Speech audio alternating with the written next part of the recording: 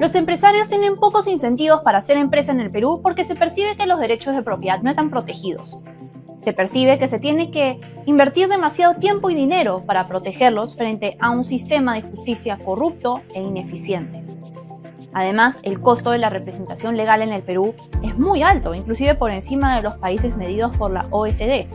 Y además la justicia civil está sujeta a retrasos sin justificación. Es así que la percepción de que los derechos de propiedad están protegidos está muy por debajo de niveles de los países más desarrollados. El Estado además está creciendo a costa del mercado.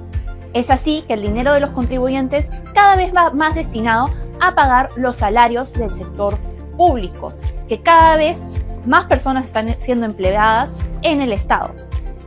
Según datos del 2022, 800.000 personas trabajaron para el Estado.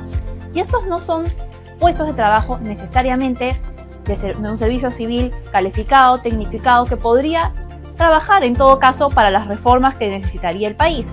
No, se trata de cada vez más contratos temporales mediante la modalidad de CAS, los cuales están inflando la planilla estatal.